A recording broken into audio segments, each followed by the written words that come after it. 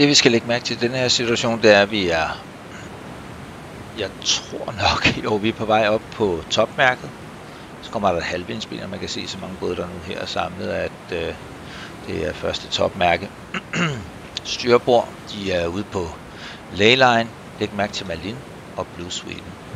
Den her sag, den angår 17.1, og vi kender den egentlig godt, men vi repeterer den nu lige alligevel. Vi træder lige lidt tilbage og trykker play.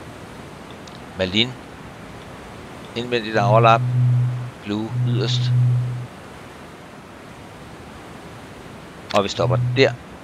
Kommer der en 17.1. Øhm, og er 17.1'eren korrekt? Det ved vi jo godt, den ikke er. Og korrekt, det bliver også det er en korrekt cancellation, da Malin beder om, om cancel på den. 17.1 gælder kun på lens og kun hvis du er bagfra kommende båd.